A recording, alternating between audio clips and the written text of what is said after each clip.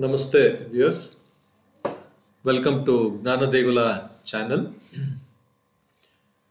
Today, in this video, we will see some information, some more information on Mahalaya Amavasya. Mahalaya Amavasya is a celebration for honoring ancestors on the new moon. Mahalaya Amavasya marks the culmination of the 15 day period known as Mahalaya Paksha. This is known as Mahalaya Paksha. Pitru Paksha it is also called as. This is dedicated to appeasing and paying respects to our ancestors. Falling in the month of uh, mid September to mid October, this new moon day is also referred to as Sarva Pitru Amavasya or Pitru Paksha Amavasya. There are Amavasya every month, you know, you get an Amavasya, but this is specifically for Pitrus, Sarva Pitrus, that means our ancestors, our forefathers, parents, their grandparents, and great grandparents. This way. It holds immense significance as the ideal time to perform Tarpanam, a kind of ritual honoring departed ancestors.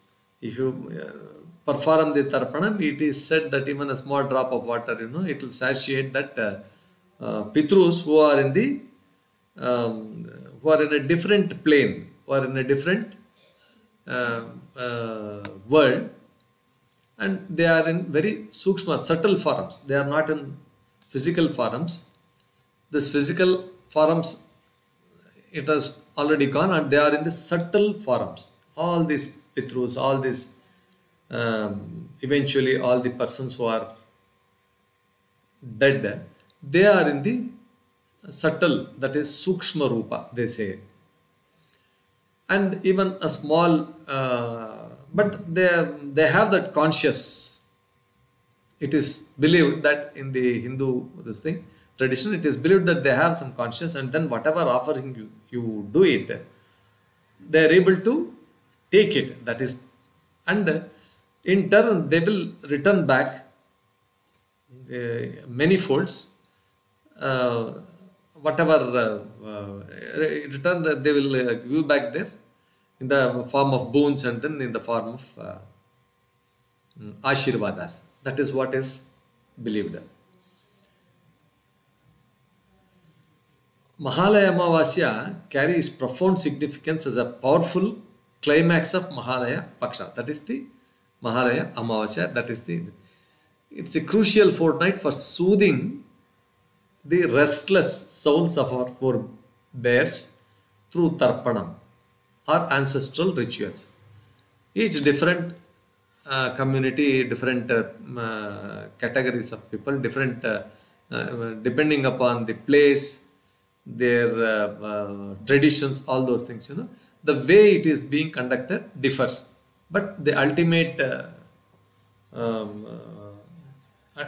ultimately, it is the celebrations which count. This uh, celebration, this uh, uh, celebration with lot of devotion, lot of respect, lot of much more respect than any other rituals. Even the Deva pujas and other things we do. Na?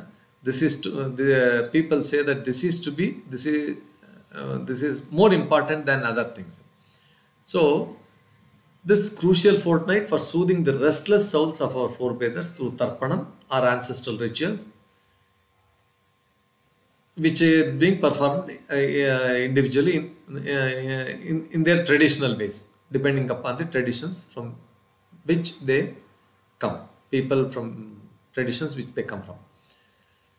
From astronomical perspective, this special new moon day, uh, it is said that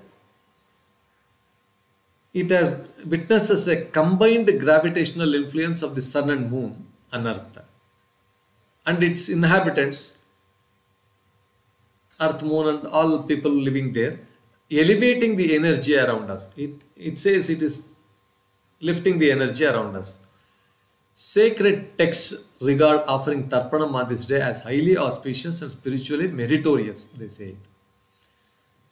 If uh, one has uh, missed performing Tarpanam on any of the preceding 14 days of Mahalaya Paksha, Mahalaya Amavasya serves as a potent opportunity for appeasing the ancestors.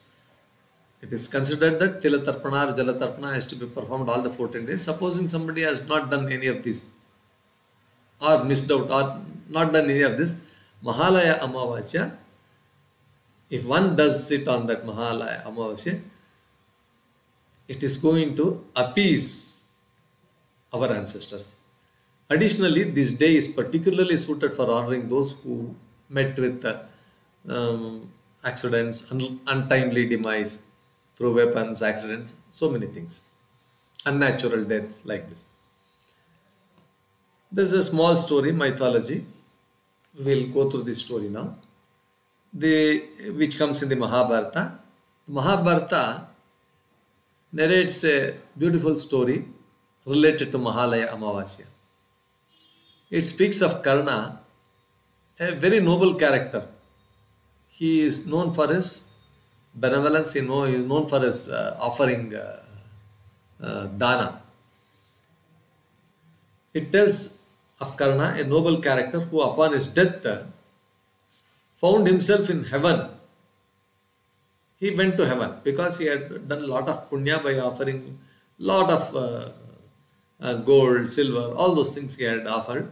Plenty of things, you know, plenty of. Uh, uh, he was known known as Dana Veera Shura Karna. Dana means who is ready to give anything, everything. He, he would give anything when asked. Dana Veera. He was a very valiant king. Shura, also a valiant king. Veera Veera. Shura Karna. Dana Shura Karna, they say it. So he went to heaven. There he all he was all welcomed there, and then because of his uh, dana and all those things. But uh, whenever he was to be given food, he was offered gold and jewels only for consuming. How can anyone consume gold, jewels, and all those things?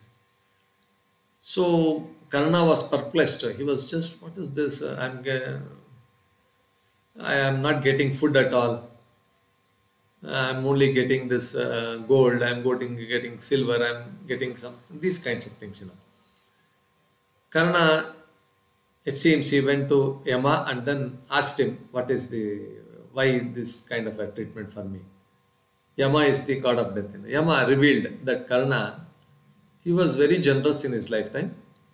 He donated all manner of uh, wealth to others. Yeah, all kinds of wealth he donated, but he neglected to provide food, offering a food to the departed ancestors.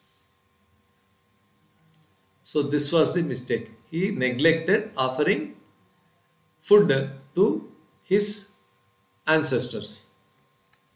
Due to this oversight, Karna was unaware of his ancestral lineage.